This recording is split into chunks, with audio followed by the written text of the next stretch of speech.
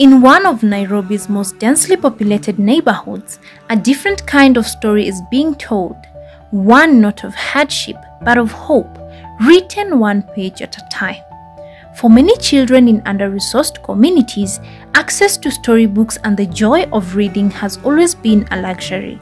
Without books, how can a child imagine beyond their world? African Storybook has been changing that one library at a time.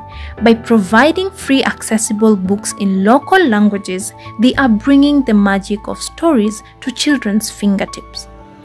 And with support from partners like the Lenovo Foundation, the library in Kibera now offers digital books too.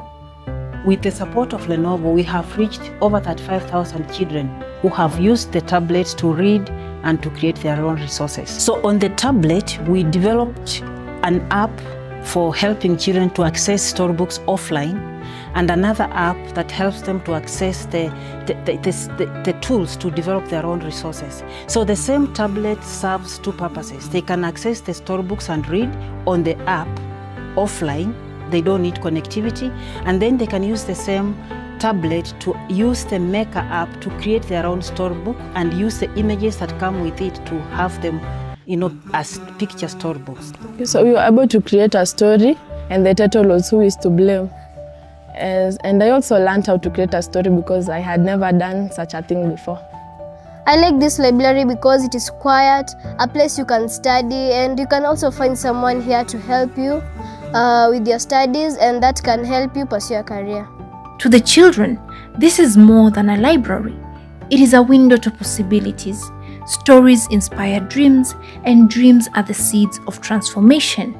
The biggest impact is having the champions who see the need for resources and they, they understand that African Storybook is feeling this need and they use the resources to improve the children's literacy. Because when a child learns to read, the community begins to write its own future.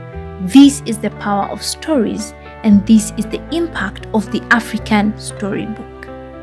Thank you, African storybook and Lenovo! Yeah! Lenovo, Lenovo.